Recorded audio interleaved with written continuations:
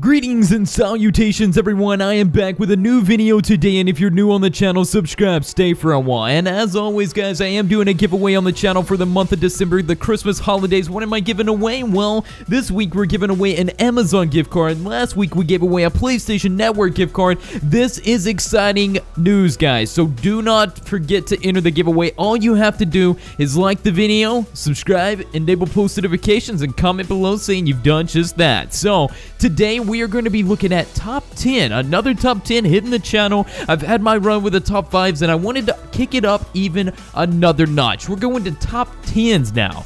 And you guys really seem to enjoy the last top 10 I did, so I was like, you know what? We're coming back with another top 10 because this is exciting. And I thought, what better way to return with a top 10 based around the top 10 scariest Minecraft creepy pastas? That, yes, let's go ahead and add this one to the top 10 list.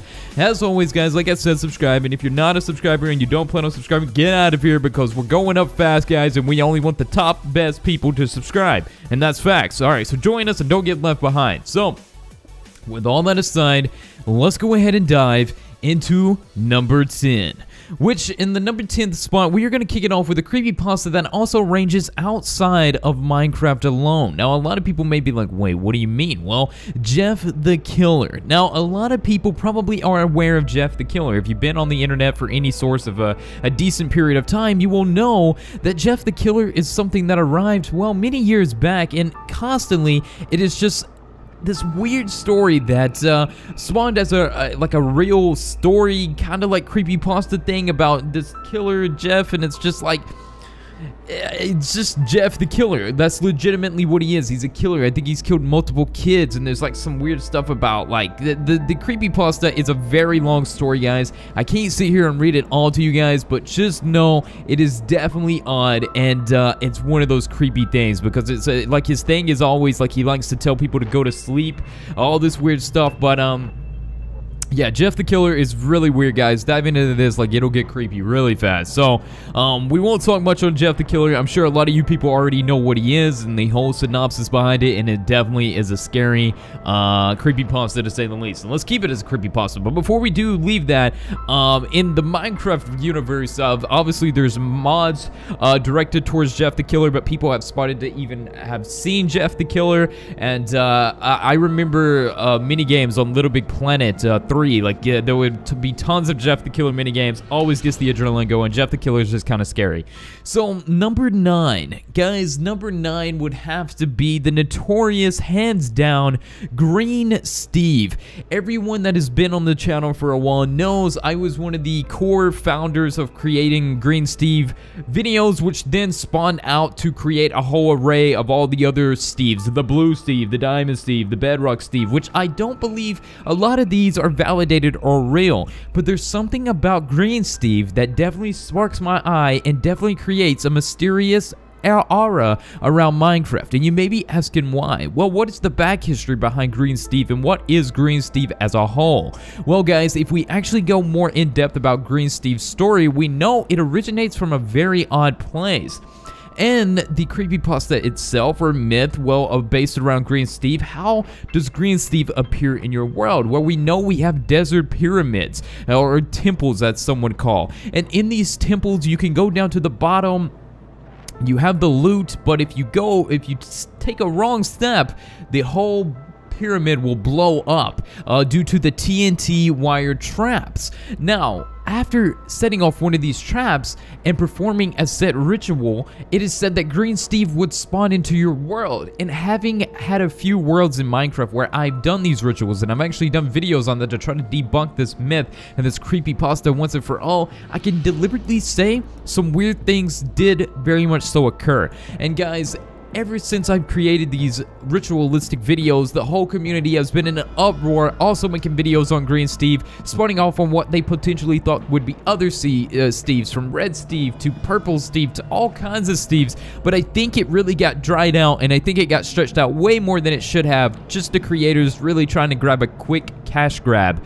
Um, so, aside from that though, when it comes to the Steves, addressing all of them very quickly because I know a lot of people watching this may be like, well, is any of the other Steves going to make it on this list. Is there going to be a red Steve, diamond Steve? No. I'm picking green Steve for this list for the specific reason to go over and talk about the Steves and the different variable Steves. We even have Ghost Steve, we have all this, but green Steve seems like the most validated in my opinion. And to be truthful, if we look at the history date on the internet, Green Steve was one of the core originating pioneers prior to all these other ones which spawned after I started making videos and everybody wanted to kind of jump on it. So, with that aside, uh, it's also very important to note with these creepy pastas, guys, these are creepy pastas. There are no real, there's not really validated evidence to this. I'm not a firm believer in a lot of these like entities and these creepy pastas, but for the most part, it still is very intriguing, and I like to myth bust these and kind of prove if they're real or not, and that's what my channel kind of is based on at the current moment. So let's move on to number 8, which is of course Entity 303. A lot of people have heard of Entity 303, very popular in the Minecraft community there a while back, and Entity 303 was everywhere. There's even spawn-offs from Entity 303 saying Herobrine 303. And now what does all this mean? Well, Entity 303 is like an error that invades the coding of your game and that can hack your game files, thus creating very weird occurrences throughout your game and even potentially spawning an entity known as Entity 303. 3, which will haunt your world and go throughout your world. Primarily focused and spotted on Minecraft Pocket Edition, which has add-ons and mods, Entities 303 overall appearance in the Minecraft community was always very sketchy and not validated hardly, due to all the mods that surfaced around him. Now, we do have to take into aspect mods, add-ons, that's always going to be there. That's always going to kind of uh, bring life to these creepy pastas and actually make some of these entities actually have visual, um, actual appearance in game. But a lot of times we like to break down to the actual core facts of how this originated. Because if we go back in time, how did Entity 303 actually originate? We have to ask ourselves that and we have to read the beginning stories and the spawns of this and how people have had relatability with just set entities. So Entity 303 3 is one that involves the game coding that is very weird in my opinion. So, of course, Entity 303 had to make the list. As for Hero Herobrine 303, another creepy creepypasta spawn-off from Entity 303, and I don't feel like it's too validated in my opinion. Moving on to the number 7th spot is Null. Now, Null is a individual, a entity that I have talked about on my channel for quite some time, and I actually made a lot of videos on Null, which some of them may or may not still be up. Null is basically an all-black character that can haunt your Minecraft worlds, and uh, they are different variable ways to potentially spawn Null. Some would even say other entities take the resemblance and could actually be Null, because when it comes to an all-black character, it's kind of hard to spawn. We have multiple other characters which take the resemblance of Null, which being uh, like just this black character, which pretty much takes the resemblance of nothing. It's just like a character of nothing that kind of invades your world. And I think it's really interesting because with all like we have like uh like I, I think we have like a white man. We have it, it's really weird. Like I I don't know what the whole uh, thrill behind all that is but uh, I am surprised we haven't seen like an invisible entity that can haunt our world through invisibility. I think that's really interesting as well. Uh, but uh, as for Null if you see just an all black character um then I guess you may have encountered Null and he's haunting your world Kind of weird. I don't know. Anyhow, moving to the sixth spot on this list, guys, this would be Lick. Now, what is Lick? Well, the name himself is kind of odd, but Lick is a creepypasta that's also been around for a long time. However, in the Minecraft universe, Lick is said to actually be the originating core and spawner of all the crosses you see throughout your Minecraft world. I'm sure some of you guys have played on some creepy worlds and actually seen crosses generating naturally throughout your world, and it brings up the question, what causes that? As for it's so rare and almost impossible to find, but when we do find it, we ask the question, why? Well, apparently Lick is the originator and core spawn behind these crosses throughout Minecraft. So if you find a cross that is naturally occurring in your world, chances are Lick is in your world and has something to do with it. Or so says the story that goes with the creepypasta based on it. I don't know. You tell me.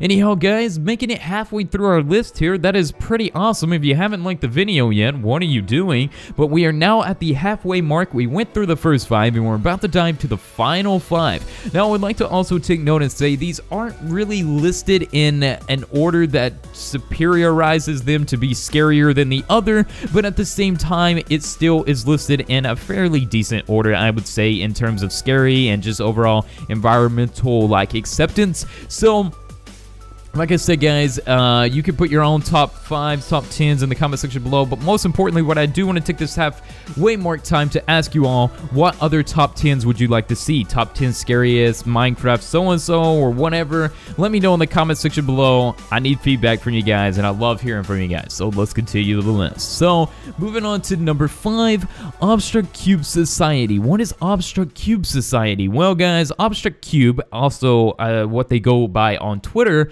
is a very weird group of individual that seems to have some secret agenda to push behind Minecraft. Now, this is definitely odd, and to be honest, I don't know what to think of this group. I've talked about them multiple times in the past, but it's definitely one of those things that kind of sketches you out and makes you kind of ask the question, should I stray away from just this? So, Obstruct Cube Society is basically the Illuminati of Minecraft that controls all these creepypastas. The, re the reason all these creepypastas even originated was supposedly due to Obstruct Cube Society.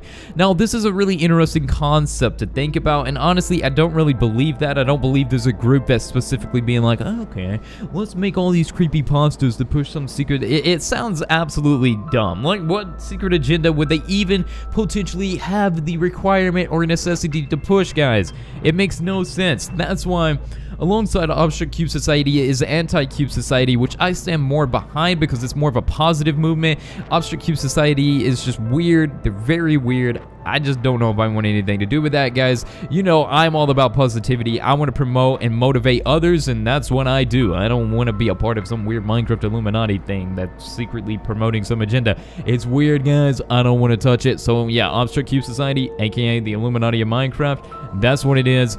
Uh, we have done much research on it, but when it boils down to it, there's just a Twitter account of these guys. They tweet very weird uh, sequences of words that I don't even can. No one can really translate. They're just speaking some weird philosophical like uh, aura where I, I, don't know, man. I, either way, they take the number fifth spot, um, and we will move on to number four, which is Slenderman. Now. This is where it starts getting weird, guys. We're getting down to the four final ones. Slenderman, you may be like, wait a second, why is Slenderman even a creepy pasta in Minecraft? Well, guys, I have talked about this many times before, and we have to actually ask ourselves, where is the core fundamentals of Slenderman, and where did Slenderman originate entirely? Well, Slenderman also being a creepy pasta, but also said to be based on true events of a tall, slender man that apparently uh, primarily asides in uh, like a specific forest, but would come out towards playgrounds to uh, perhaps abduct children um, from time to time or watch them play, which is very, very weird. And Slenderman itself as a core originating factor in terms of just being uh, like super creepy, super wrong. Uh, just the concept of Slenderman is wrong in itself, but it then originated into becoming more of a horror story and just kind of like a scary thing that the internet picked up and spawned off from. So Slenderman then became like you you would have the game Slender Slender the Arrival, you know, where you're in the forest looking for pages, and that's what most people know Slenderman as. They think it's just this uh, origination of this game where you were in a forest collecting pages, but the whole time Slenderman is haunting you. Now, this you know, the fact that Slenderman has a really weird past would be an instant cue not to have any association with Slenderman in Minecraft, a game that is primarily played by all ages and definitely children. Why would you want to implement a character that has a past based on just weird, like, encounters with children in a game that many children are going to play? It doesn't make any sense and it just seems wrong and it's almost like Slenderman somehow worked his way into Minecraft with the Enderman, okay? So, yeah, then Enderman got introduced in Minecraft, right? So Endermen are obviously clear representation of Slenderman and complete replicas, but in a different way and Endermen roam your world, make the strangest of sounds, pick up blocks, and we still don't know what Endermen are trying to build in Minecraft. So Endermen alone in Minecraft have a secret like agenda, maybe? I, I am not exactly sure, guys. We have to ask ourselves, what are Endermen trying to build? They always pick up blocks from our worlds and place them in different places. Like, are Endermen trying to build something? Maybe they're trying to get back to their home, the End, but even then, in the End, it's just like they walk around aimlessly confused. Perhaps they are controlled by the end dragon. There's so much around the end Endermen that don't make any sense whatsoever.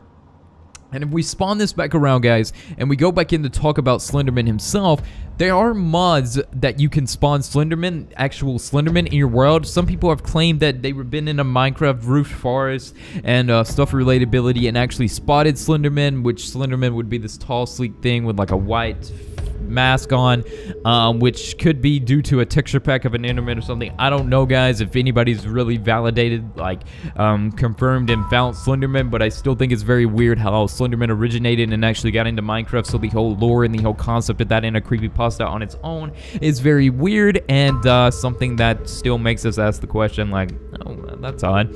Anyhow, guys, moving moving on to the number third spot on this list. Number three will be Herobrine. Now, I think everybody could anticipate that this was going to make the list. Herobrine is an entity that we've all known forever. One of the first pioneers of the whole creepypasta community with Minecraft. Herobrine is as Herobrine is, and that's pretty much all you could say. I've been talking about Herobrine for years on my channel, always trying to get down to the bottom of it and debunk everything that is Herobrine in it entirely, and uh, many of my friends have also done just that as well. We have tried to debunk, debunk and myth bust Herobrine for all, but out of all the creepy creepypastas and all the entities, Herobrine seems most convincing and most real due to how Mojang perceives Herobrine and how they pretty much direct Herobrine. Like they're they're very odd in their approach with Herobrine. Even though Notch, when Notch had ties with Minecraft heavily, he was like, "Oh, Herobrine doesn't exist."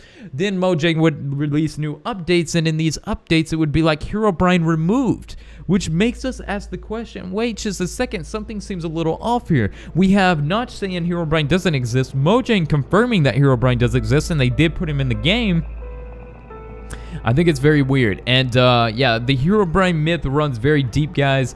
I've looked at multiple Herobrine sightings and spottings from people, of course, and it all seems sort of fake, but you never can tell. And uh, I guess you would have to see one of these yourself to actually confirm um, or deny the fact that uh, Herobrine is even worth interest. So yeah, that takes the number third spot in the Minecraft creepy Creepypastas. Herobrine could be haunting your world, so keep an eye out for him. Now, number two.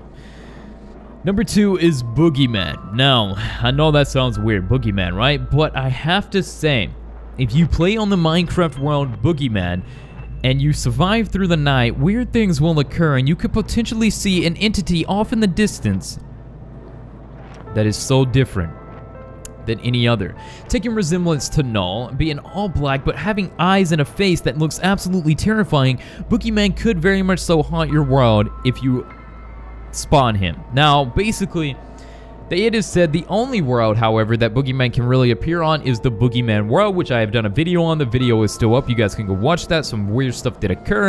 Uh, I'm not really a candidate for believing in a lot of these creepypastas and these entities, but like I said, Boogeyman is definitely weird, and having played on the seed and done a video on it and experienced it for myself, I can say it was definitely odd, and I don't even know what to take from it, and to be truthful, the Boogeyman seed and Boogeyman himself as an entity can kind of just stay to himself. It definitely is one of those more weird ones. Uh, and it's funny because it's like, wait, a Boogeyman? How would that be a weird one? How would that be any bit of, uh, like, uh, it's Boogeyman, right? Well, guys, you'd be surprising. In Minecraft, he looks very scary from what I've seen and spotted. So, yeah, and if I have any screenshots, of course I'll be showing it, but we may not be able to find screenshots of Boogeyman because he's so rare. Um, so that's usually the case with a lot of these that I'm showcasing. Like sometimes it's just really hard to find uh, images of these entities because they are that rare, um, supposedly. And how do you get images of the Obstruct Cube Society, right? Um, so anyhow, guys, we're now moving on to the number one spot, and the number one on this list, which takes another uh, all blacked out entity, but this one has a really interesting core and spawning. Uh, um, fact. So that is, of course, the Farmen. Now, I've also talked about the Farmen in the past, and how does the Farmen originate? What is the Farmen take in resemblance? Well, the Farmen is similar to Boogeyman and Null being all black as an entity. Uh, usually, you will see him way off in the distance in the Farlands. Now, for those that don't know what the Farlands is, the Farlands is the super far edge of the map, okay? It's the super far edge of the Minecraft map that looks very weird and is not generated correctly. And to be honest, the Farlands in general is just odd, guys. Like, we never really took time to actually conceive this, but the Farlands in Minecraft is one of the weirdest places in all of Minecraft. I mean, it's a place that you could teleport to and it's the at the edge of the Minecraft map in terms of generation, and it's just all this weird, oddly generated terrain, which you guys will probably be seeing screenshots of. It's very, very weird. Having been there, played it on console version, on Windows 10 Pocket Edition, it's just weird. Like it, it's one of those like I just don't know.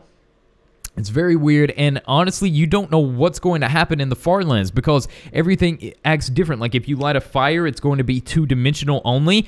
Uh, there's so much stuff that the far Farlands just kind of kind of reacts to things very oddly, and one entity being the Farman, which you can see off in the distance, that just looks very weird and scary. But anyways, guys, that's going to do it for the top 10 Minecraft Scary Creepy Creepypastas. Hopefully you guys enjoyed. Um, a very long video, nevertheless, but top 10 videos take just a long time. I mean, when I was doing top 5 videos, it was very quick and easy, but with top 10s, I'm legitimately trying to comprise these down the quickest that I can, talk about each one of these on the list for a, a decent amount of time, and get this out to you guys. So really, this is like the quickest I can comprise this down while still talking a little bit in depth about these uh, creepy pastas and or whatever I'm doing a top 10 on. So yeah, with that aside though, I do want to know if you guys made it to the end of the video, and if you did, comment below Team O1G. We're going to see where the true supporters are, and that may also, I'm not going to lie, that may also aid in who gets picked for the giveaway, because uh, I need to know that people are just not here just strictly for the giveaway. Like, oh yeah, what's that giveaway? Um, But anyhow, guys, I will see you all in the next one. Have an absolute amazing day.